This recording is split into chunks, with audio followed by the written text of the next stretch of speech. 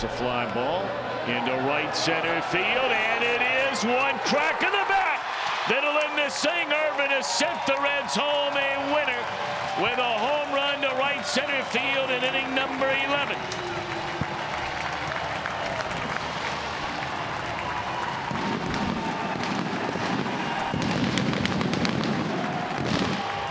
An opposite field shot.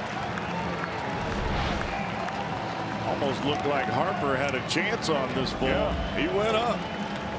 So the Reds win it by a final count of four to three in the bottom of the 11th inning.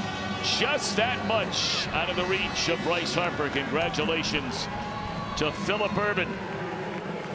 So the Reds lose the first two of the series. They win the last two.